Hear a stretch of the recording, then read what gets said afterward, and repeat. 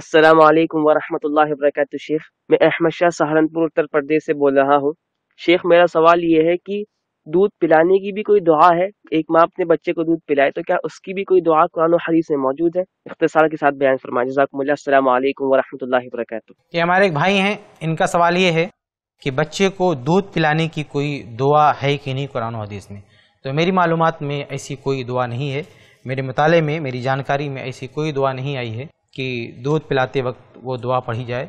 इसलिए इस सिलसिले में मेरे पास कोई जानकारी नहीं है। अगर किसी के नज़र में हो, आपने कहीं पढ़ा हो तो बताएँ तो उसके बारे में देखा जाए। लेकिन अब तक का जो मेरा मुताला है, अब तक की जो मेरी मालूम है, मेरी मालूम में ऐसी कोई दुआ मौजूद नहीं है। अगर है किसी की जानकारी में तो उसका हवाला दें, वो मालूम हम तक पहुँचाए तो उस पर हम कुछ कह सकते हैं। लेकिन फ़िलहाल इस बारे में हमारे पास कोई जानकारी नहीं है। उम्मीद है कि ये बात आपके लिए ऐसे ही और वीडियोस बनाने में हमारी मदद करें।